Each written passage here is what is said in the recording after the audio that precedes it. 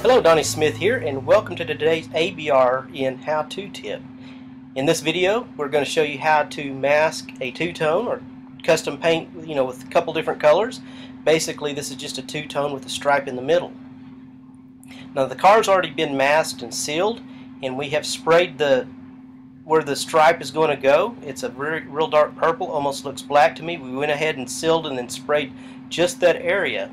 And now we're going to stripe the area that's going to be that color. So anywhere that you see this tape at is going to uh, be the color that we're putting it on. So it's going to be this dark purple color. And notice with this tape that I'm sticking it to one end and pulling it all the way to the other end. You know, you don't want to try to adjust it mid-panel because that'll just mess you up and it'll get, uh, you know, wavy. So always go from one end of the panel to other and then adjust it with your hand as you go and kind of just eyeball it. And as you go down adjust it. And like you see me doing if you don't like where it's at just pull it up and start over because it hasn't stuck. You haven't pushed it down to where it sticks real good yet. So you can kind of adjust it till you get it exactly where you like it. Once you get it where you like it you just uh, go ahead and, and push it down hold it in place. Here's a little bit different angle. And after you get it uh, positioned where you like it be sure to, at that time, to go ahead and push the tape down real good. Run your fingers across it to make sure that it's uh, it's stuck really good and no paint overspray is going to get underneath it.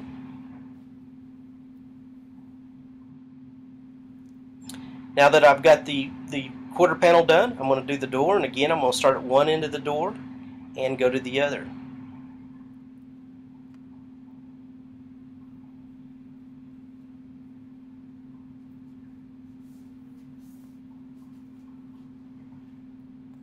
Now notice here in the back, it gets wider. I didn't, didn't show this step, we will on the other side, but uh, the student wanted to get a little bit wider in the back, so it goes from the quarter inch tape, and it gets just a little bit wider, very gradual towards the back.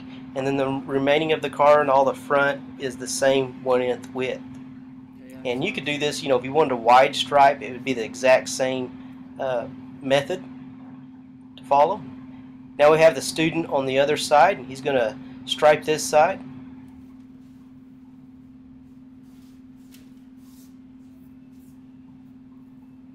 And this would work for, you know, like racing stripes or, you know, any size of stripe that you want.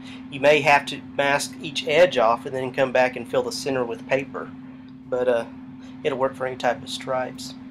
And he's doing the same thing. He is attaching it to one end and pushing it down to the uh, the other end, then come back and make sure that it's pressed down really good. Now he's going to going ahead here, and he is uh, going to go ahead and show you how to, to make the stripe wider in the back. So basically he gets the width, desired width that's in the back like we have on the other side and then we gradually go down into the quarter inch.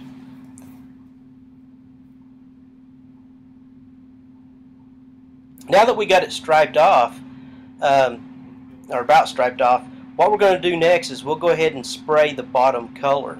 And the bottom color is going to be a red, and it's pretty high solids. It covers really good.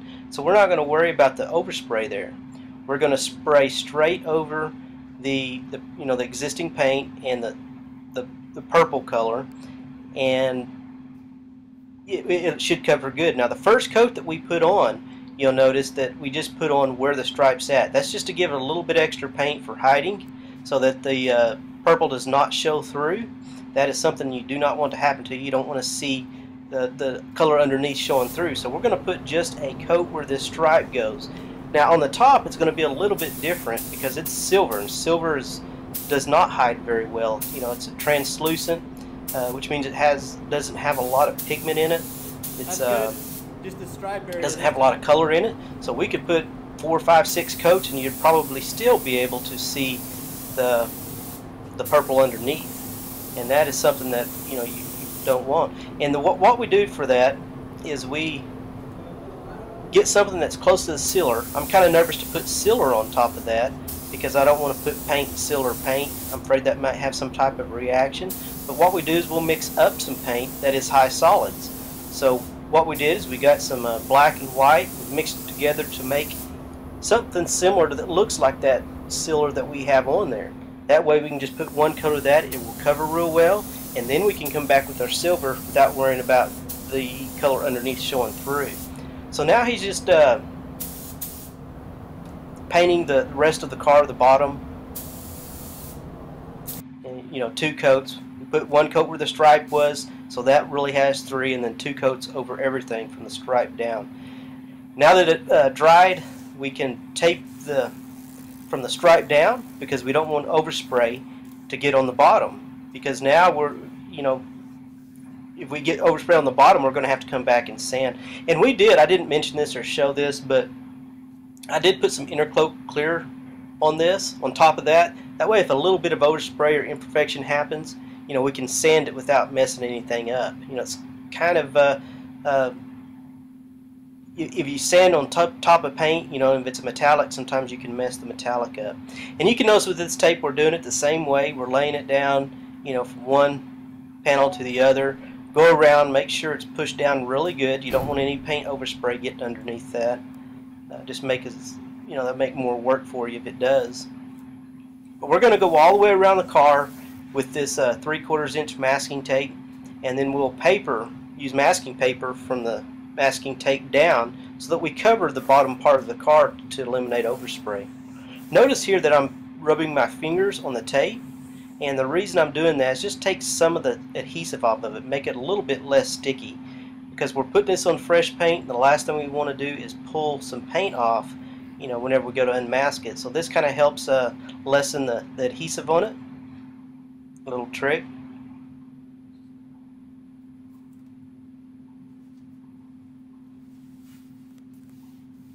Make sure it's pushed down really good to prevent overspray from getting on the red.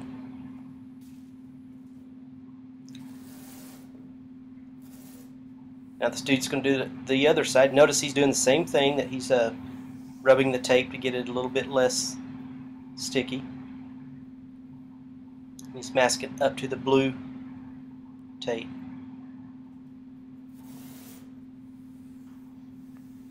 and make sure that you, your edge of the tape is on that blue tape or